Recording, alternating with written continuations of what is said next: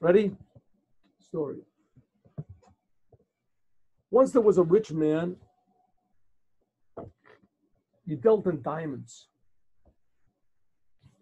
And he heard that uh, there was another rich man that was closing his business and he was selling really, really cheap to the first seller, to the first buyer. He checked it out. He sent men to find out if it's true. It was really true. and he talked it over with his wife. His wife said, It's a wonderful idea. You should do it. It meant that he had to sort of liquidate all of his assets. And uh, he had to get on a boat to cross over this small river. It was like a half an hour drive, half an hour sail. There was a barge that went over the river, and he would go to this person. The person lived in, I don't know, Prague or someplace, near the, wherever the river was. So he asked his wife. His wife said yes. So they, he said, but, but first of all, he's going to go and ask one of the tzaddikim. There were the two brothers, Rev Elimelech Milizinsk, Rev Zusha Manipoli. So he went to Rev Zusha Manipoli, and he asked him um, if he should go. And Rev Zusha Manipoli said, you should definitely not go. It's not going to be good. So he went back home to his wife, and he said, that's it, the trip is off. His wife said, what? The trip is off. Why is it off? He said, I went to Zusha Manipoli, and he told me that I shouldn't go. I said, ah, Zusha Manipoli, you know, he's a big tzaddik, he knows how to learn, he knows how to this, but he understands business. I mean, did you tell him all the details?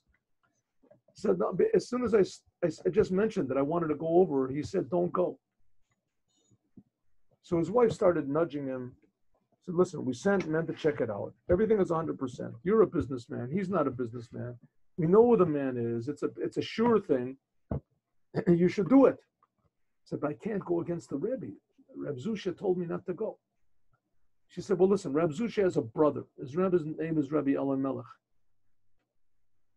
So he says to his wife, what, what are you trying to say? over here? What, what, what, are you trying to say? I already asked the tzaddik if I should go. He told me no. I mean, said, you go to his brother Elimelech and you tell him that you asked his brother Zusha, and his brother said no, and tell Rabbi Elimelech that your wife is driving you crazy, and you're asking him. So I said, okay. So he drags himself over to Rabbi Elimelech, Milizinsk, and he tells him the whole story. I, I have this wonderful business opportunity, or so I thought, and I went to your brother, he told me not to go. And my wife said that I should come to you. I, I don't want to go against your brother.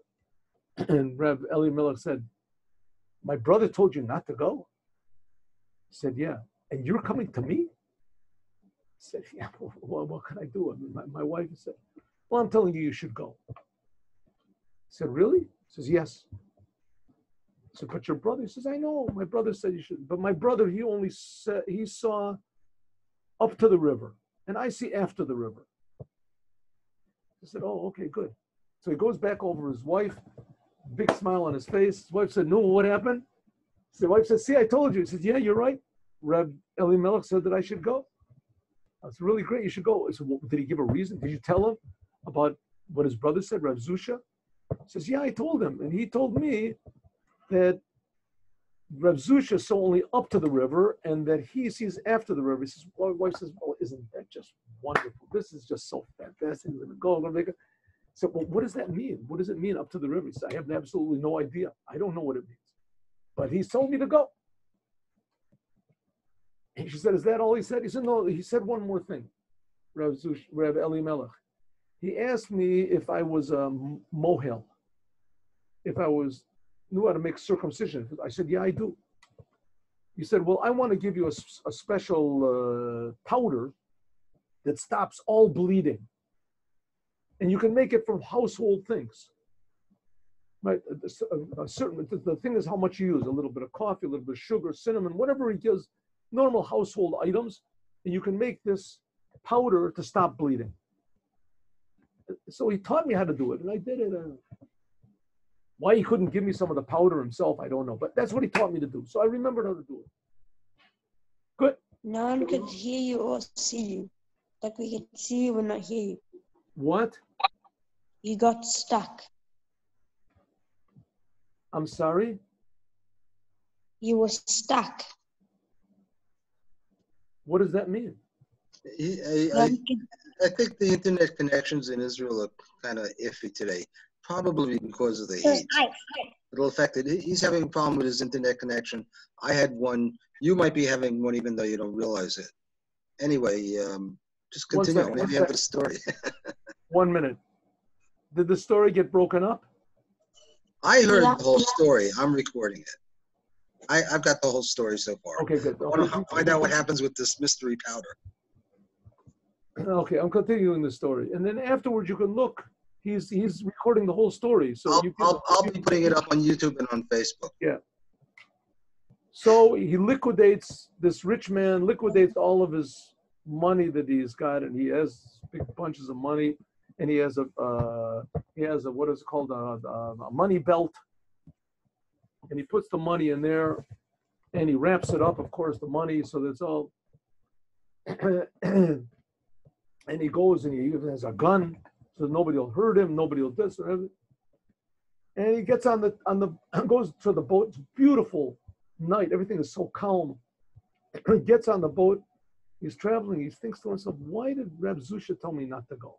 It's really very interesting. They're about half a way through the journey. It's only a half an hour journey across this bridge, across this river, rather. And suddenly, all of a sudden, from nowhere, it starts a wind starts to blow. And the wind blows and the, the river starts to churn more and more and it's difficult for the boat to, to, con- to continue. It's blowing right toward the boat.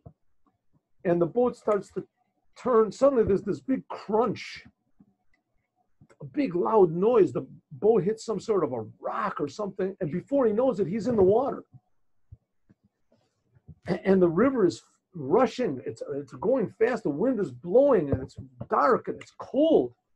And the wind is blowing, and the water, the rushing water, finally he finds this miraculously this piece of wood and he grabs onto it and the piece of wood it just takes him down the river and he he um, it gets caught in something the rib and the he's just holding onto this piece of wood and the river takes off all of his clothes. It removes all of his clothes that he's got and he's screaming help Hashem please help me. And with his last powers he crawls on this branch he moves himself little by little to the shore and he gets on the shore he gets to the shore. It's freezing cold. He's in the mud on the shore. He's bare naked, has absolutely nothing. What's he going to do? Where is he going to go? And it's already starting to get late at night. And he sees there's a house far away.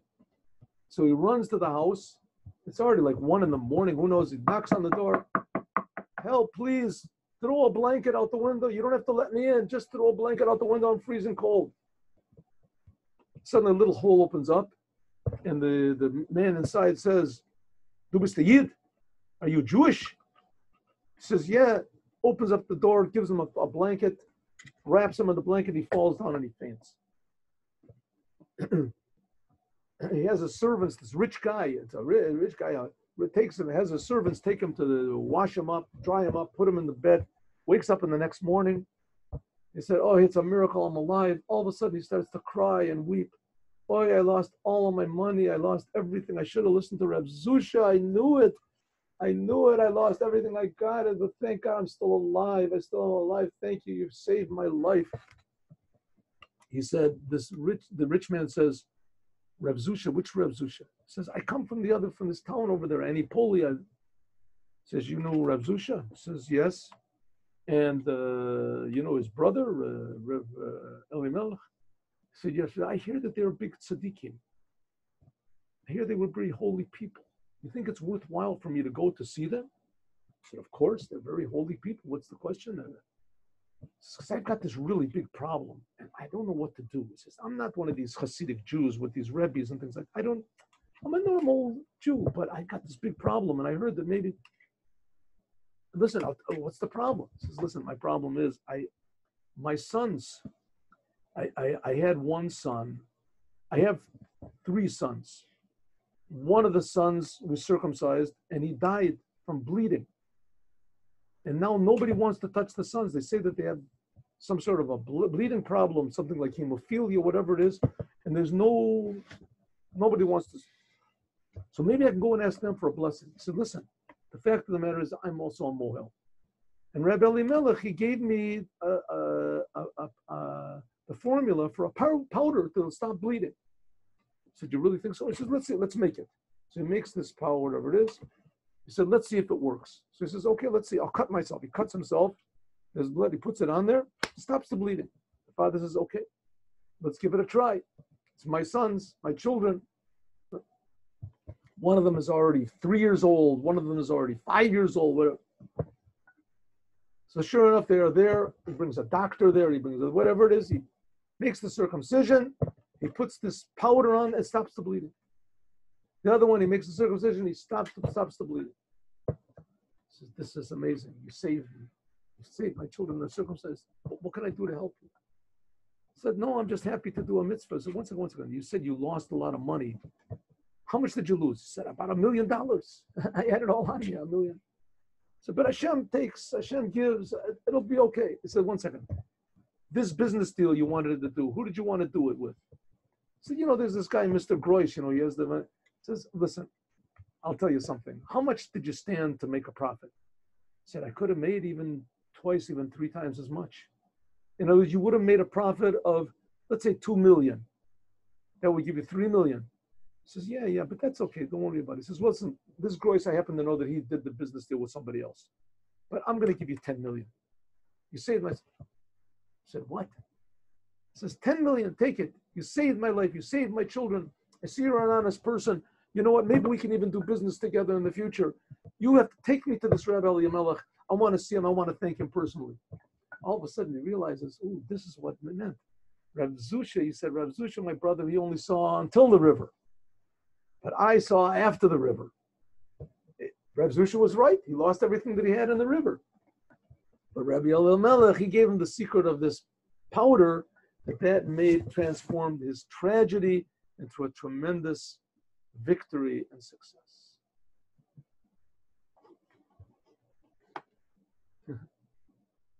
See you at three o'clock. Three o'clock.